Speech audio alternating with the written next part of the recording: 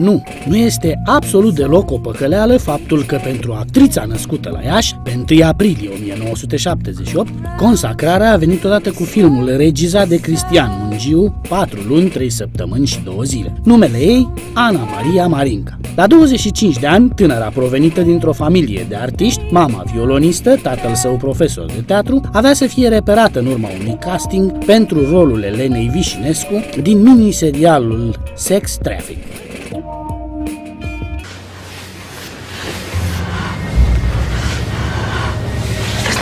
Toată legea aveți. Vrei să omor copilul tău? Ha?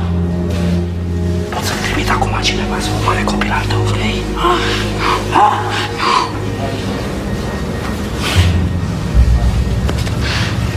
În Sex Traffic, Ana Maria interpretează rolul unei femei, victima unei rețele de trafic de carne vie, care luptă cu orice preț să salveze sora din acest mediu. Actrița ieșancă se bucură de câștigarea titlului de cea mai bună actriță în 2005, titlul conferit de British Academy Television Awards pentru rolul său din această dramă. Și încă un lucru important, această producție cinematografică devine o trambulină pentru o carieră internațională a Anei Maria Marinca, care joacă inclusiv într-un film regizat de Francis Ford Coppola, Tinerețe fără bătrânețe, 2007. Tot în același an, interpretează rolul Otiliei în 4 luni, 3 săptămâni și 2 zile, fiind declarată cea mai bună actriță a anului 2007 la Festivalul Internațional al Filmului de la Stockholm. Regizat de Cristian Mungiu, filmul obține Palme d'Or la Festivalul de la Cannes, un alt prilej de mândrie pentru actrița eșancă.